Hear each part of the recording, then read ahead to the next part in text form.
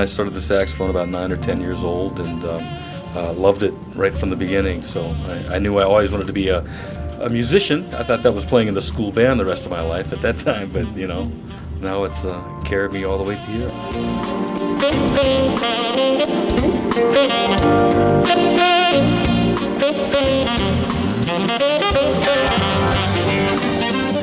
I grew up on the East Coast. I grew up in uh, Maryland, Hagerstown, Maryland, and uh, I went to University of Miami, and uh, I turned about 17, 18 for college down there, and I've been in LA for the last 25 years.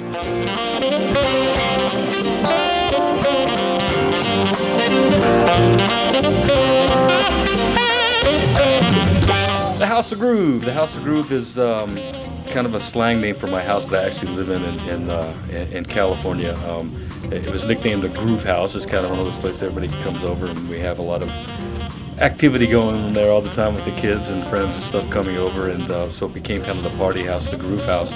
And so my studio that, that's in that is uh, is the House of Groove, and um, uh, so it, it's it's. I think the album kind of captures the essence of everybody hanging out and partying, and you know those feel good vibes. So it's a, it's a feel good album.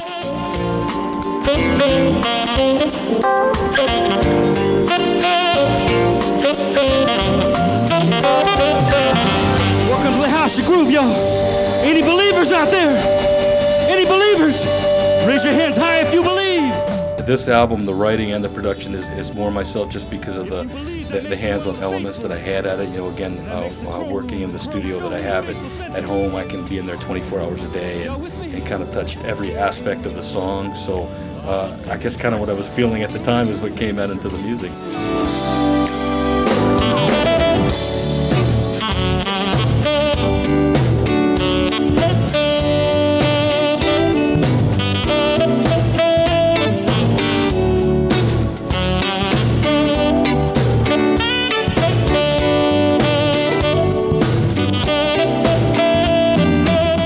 Time, instead of naming the tracks, I, since we're in the House of Groove, I named them room number, room one, room two, room three, and um, I just kind of thought of each room in my house and you know and, and kind of what it took on. So that's the, names kind of come from that, I think. So the first song is Knock Knock Who's There, like you have to knock to get into the house. And track two is uh, the House of Groove, and uh, Fellowship Hall is is uh, room number three because we all kind of have fellowship there. So it kind of goes on from there.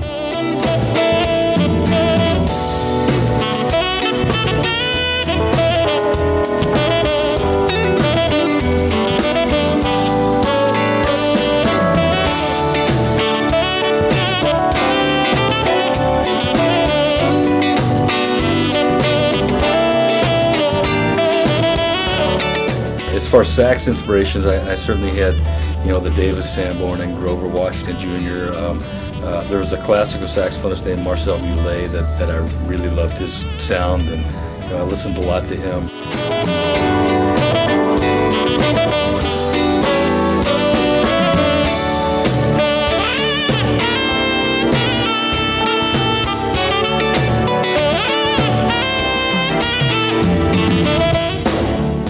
I'm uh, I'm moonlighting as a DJ. I do have fun with it. I uh, work with a, um, uh, a station called Sky FM, and I do their smooth jazz 24/7 channel, uh, which is you can get it on the internet or your smartphone or or whatever. So I do that uh, every Thursdays. I have a show on there, and it's it's been a lot of fun for me. I've done it for the last year or so.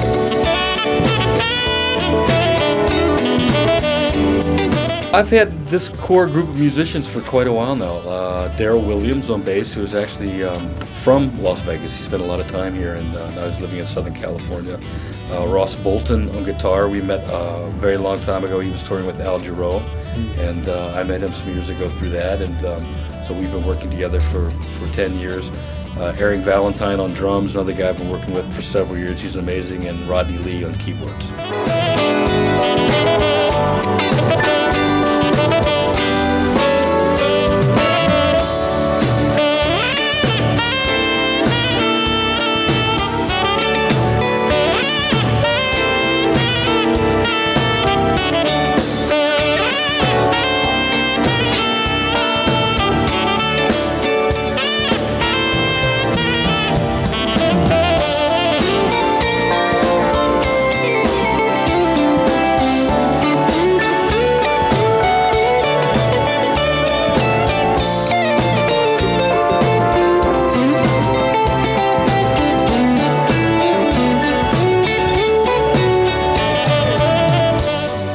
I can get everybody, you know, involved to participate in the show, and uh, and have them all smiling and up by the end, and I guess I've accomplished what I set out to do.